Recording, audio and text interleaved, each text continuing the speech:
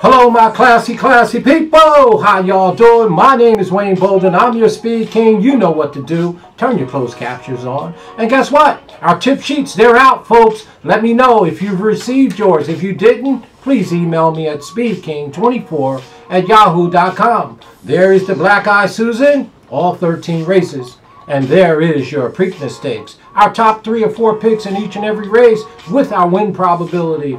Both days, 20 bucks. Email us speedking24 at yahoo.com. And guess what? The jazz in the background is free. Zero money down, no charge for my classy people. How you doing, ladies? As always, you know we give them big props. Well, let's take a look at a few of the stake races on uh, Preakness Saturday. We're going to take a peek at the Jim McKay Turf Sprint.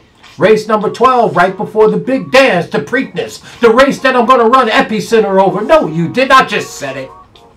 Let's take a look at Jim McKay's stakes race. It is the turf sprint. As always, of course. Well, I got an opinion in this race. This is for three-year-olds and up. They're going five panels. It's a $100,000. It's race number 12. I'm just going to run through these quick. Don't want to make the videos long, right? It's a field of 10. The number one horse, Bank, trained by my guy, Asmussen. Oh, Bank has four wins from 11 starts and four thirds. Got Joel Rosario, the genius is in the arms. Of course, by Bernardini, Bank is overmatched here. This is not a turf horse, right? Ass Asmussen or no Ass Asmussen. This is the second time I'm throwing them out for today. I don't like Bank in this spot. Caratari. Carat Caratori right? Well, the number two horse probably is the horse to beat, and here's one a, a third of uh, his races. Eight wins from 24 starts, uh, six seconds and three thirds. Okay, Brian Lynch is our trainer. You got Luis in the arms. That's right. Saez has got the services.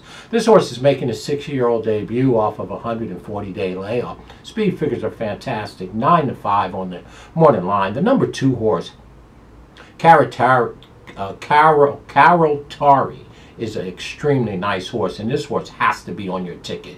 Top and bottom, any which way you play this, exotics, you have to use the number two. The number three horse to me, seven cents. Well, this is another horse to me. It's just improving with each and every start by Goldencents, trained by the untouchable barn of Brad Cox. And all his merry horses. Flow is in the yards. What else is new? The number three, seven cents. Again, four to one on the morning line. Horses coming back after a 27-day layoff, uh, exiting an allowance race that he won uh, by a neck over there at Keeneland. So again, I expect the number three to run just as well as the number two, Caratari. Tari, of course. Number three is a strong contender in the Jim McKay. Well, Arthur's Hope, the number four horse. Well, Arthur's Hope is without any hope other than he's going to the starting gate. This is not a turf horse. The old timer, the eight year old, we tip our hat to him for staying healthy and being able to still run. Mr. Lopez is in the yards. 13 wins from 45 starts. You need to put a little respect on Arthur Hope's name, but he's not winning this race. 20 to 1. Let's throw the number 4 off the ticket. Mr. Hustle. Everybody likes to hustle. You know, boys and girls from the 70s, hustle, right? Y'all know the deal. Oh, the number 5, Mr. Hustle, has 3 wins from 15 starts. And I'm not mad at you. It's money making, Mike. That's right. You know what Mike Maker does. He makes plenty of money. Well, I mean, I don't know how he can get this horse to win, but Mike Maker does some amazing things. Speed figures are a cut or two below the top horses in here. Does have Irad Ortiz. The horse is by declarations of war. They paid $235,000 for this five-year-old back there in 2018. So Mr. Hustle, the number five at 10 to 1, is surely a horse you can use underneath in exactas, tries, and supers. I don't think he's a win contender here, but Mike Maker has shot shocked me before. I would use Mr. Hustle underneath in exotics. The number six horse. This horse is just like Mr. Hustle. The number six, Smoking Jay, sneaky good, making his four-year-old debut, four wins from 13 starts. You can't shake no stick at that. And I'm telling you right now, Jose Ortiz is in the yards. This horse has been away for 141 days, making his four-year-old debut. I said it once, I say it again. I always like horses that have had a beautiful three-year-old line making their four-year-old debut. I expect them to be better when they return, have filled out, have improved, have matured, um, better than they, when they left. I mean, this is the height of their season. So Smoking Jade, to me has every right to continue to improve. He is six to one on the morning line, and just like with Mr. Hustle, I don't think uh, Smoking Jade can win the race. But again, you know, six to one. I would surely use him underneath, just like I would Mr. Hustle in any exotics, uh, exactors, tries, or uh, superfectors. The number six, four-year-old debut should be pretty good. The number seven, well, here's me right here. That is a Grateful Breed. Uh, breed.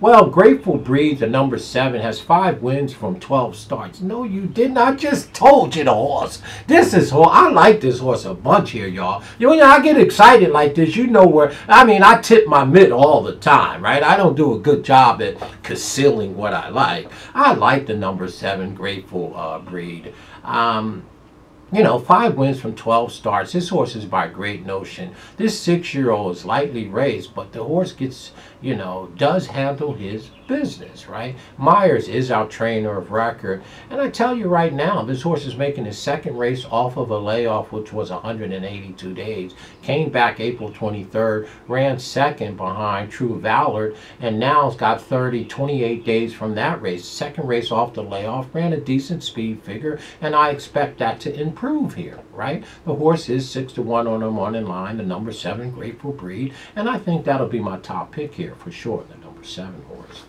in this here spot for sure.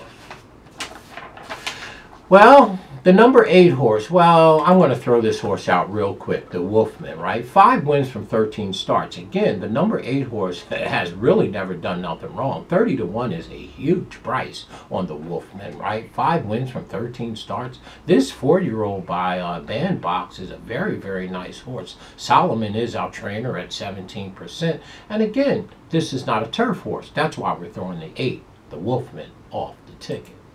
Well, Hollis, not Hollis Queens, just the number nine Hollis. Well, look at this seven-year-old gal, right? A uh, seven-year-old guy, right? Street sense, right? Ortiz is our trainer.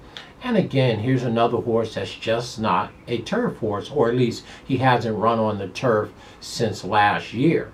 Now, when he has run on the turf, he ran some decent races, right? So I don't like Hollis in this spot in terms, maybe he could win this race. He is a very hard-hitting horse, though. Hollis, this seven-year-old, could flat out run. Maybe I'll just use Hollis as maybe my third pick, but I wouldn't leave him off underneath for sure.